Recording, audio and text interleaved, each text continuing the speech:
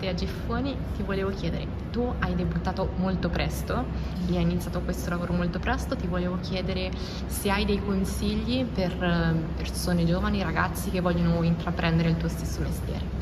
I consigli, mm, mi dispiace dirlo, ma sono sempre gli stessi, anche sì, sono sempre gli stessi, ma sono allo stesso tempo anche super giusti. Ti piace una cosa?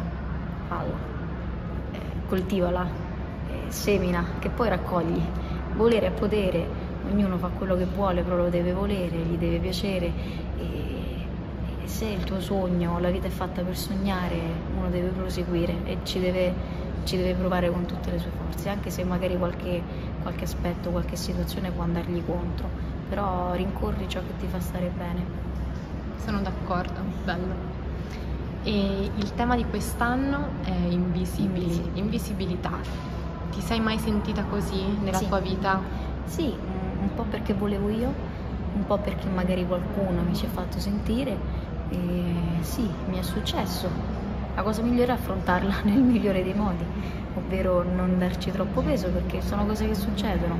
Anche solo, anche solo per me, a me piace ogni tanto separarmi dal gruppo e, e stare con- da sola, eh, non pensare a niente ed essere totalmente invisibile. Invece tante volte qualcuno mi ci ha fatto sentire, qualche situazione mi ci ha fatto sentire, inconsapevolmente anche. eh.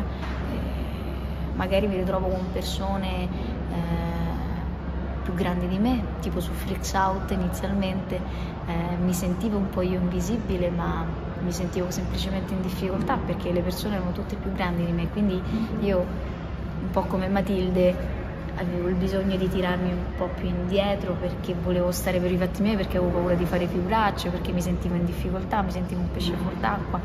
Ma invece altre situazioni scomode però succedono che eh, inconsapevolmente ti portano ad essere un po' più esclusa dal gruppo. E bisogna affrontarle, penso, nel migliore dei modi, ovvero fregandosene. Se la gente non è importante per te, perché darci troppo peso? Giusto. Poi mi viene anche in mente in un momento come questo in cui siamo tutti overexposed per via dei social, a volte è anche bello infatti ritirarsi nella quello- propria nicchia. Infatti è quello che genera l'invisibilità, perché dai social ci aspettiamo visibilità sempre e ovunque, quando in realtà l'invisibilità bisogna cercare. È proprio quella, l'idea di essere privati, l'idea di essere da soli e capire se stessi, perché altrimenti ci affidiamo e ci muoviamo in gruppo e Ci uno sta. segue il gruppo quando in realtà eh, devi semplicemente essere te stesso e ti devi separare, devi essere da solo per un po'. Quindi Non fa eh, male a volte essere invisibili. invisibilità può essere anche sinonimo di autenticità. Sì, assolutamente, può essere, può essere un qualcosa di, di- di- di negativo ma anche qualcosa di positivo, dipende da che punto di vista lo osserviamo. Ultima domanda, tu sei anche una ballerina Sì. E hai mai pensato di recitare in un musical? Ti piacerebbe? Hai un sogno nel cassetto di questo tipo? No, un sogno nel cassetto no, però sicuramente mi piacerebbe unire no, il mio lavoro con la mia passione, quello, quello sì, e magari in futuro, chi lo sa. Però mi piacerebbe, mi piacerebbe tanto. Hai un musical preferito, qualcosa che ti piace? No, però mi ricordo che quando ero piccola mi piaceva Step Up perché ci sta qualche puntata, non mi ricordo, un film che c'era anche la salsa, io nello specifico ballo salsa. Mi ricordo che quando ero piccola ero particolarmente attratta da quel film perché ehm, è insolito vedere la salsa nel- nei film.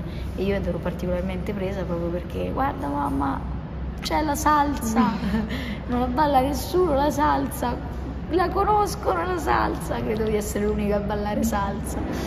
E, e quindi fare un film sulla salsa, un musical, per carità sono aperta a tutto, perché no? Vedremo. Vedremo. Grazie mille. Grazie.